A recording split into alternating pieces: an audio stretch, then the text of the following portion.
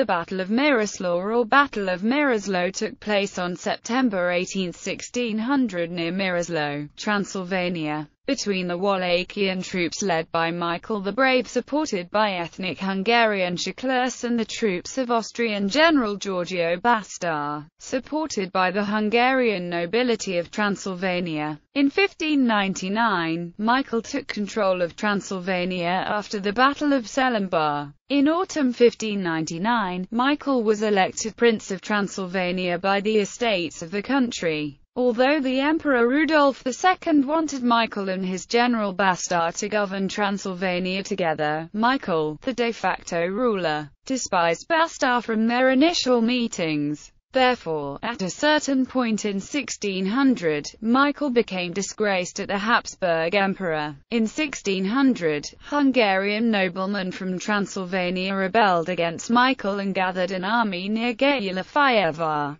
The troops of Basta joined the Hungarian noblemen rebelling against Michael. The ethnic Hungarian Chaklas, however, kept supporting Michael as he had confirmed Chakla privileges disputed by the Hungarian nobility. Basta marched against the Wallachian army which Michael had gathered in the small village of Mirăslău, a few kilometers north of the river Mureș. The Wallachian army numbered approximately 22,000, consisting mainly of mercenaries of different nationalities, including Hungarian Chaklas, Cossacks, and Poles. Baba Novak led the cavalry at the center of the army. Basta's army of 30,000 consisted of troops of the Hungarian nobility, Austrian and Saxon troops, mostly mercenaries. Michael's forces began the battle with a well-positioned cannonade from a hillside, while his main troops were protected in the town by 2,000 Chakla gunmen.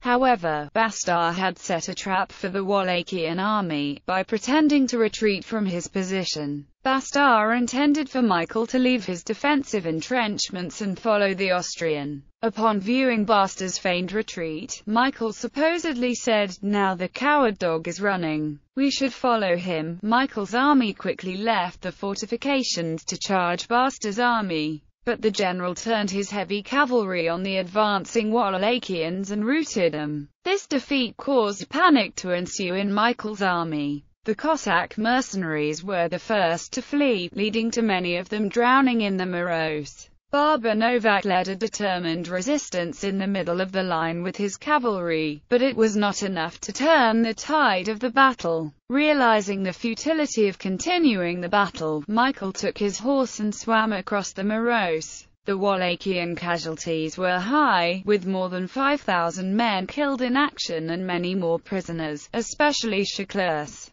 later executed by the vindictive Hungarian nobility. Basta's army lost approximately 1,000 men in the battle. The defeat of Michael put an end to his rule in Transylvania. After succeeding to do so, he was sent back to Transylvania by Rudolf in 1601. Basta and Michael defeated together Prince Sigismund Bathory at Goroslău. However, Basta had him assassinated on August 9, 1601, as he was already the Prince of Wallachia and Moldavia. His election Prince of Transylvania is regarded by Romanian historiography as a very important moment of Romanian history being the first occasion that all three territories which had a Romanian population came under a single ruler. Romanian historiography asserts that it was Michael's goal to unite the three provinces inhabited by Romanians. Hungarian historiography regards his election Prince of Transylvania as an episode in the anarchic years of the long war fought by the Habsburg Empire and the Ottoman Empire which did not have national character in the modern sense of the term. In Transylvania, these years were characterized by fierce political struggle and intrigues between different factions of Hungarian nobility, ethnic Hungarian Chaklas and Saxons forming the Union of Three Nations. This struggle was combined with the military and political interference into Transylvanian affairs by the rivaling Habsburg and Ottoman empires,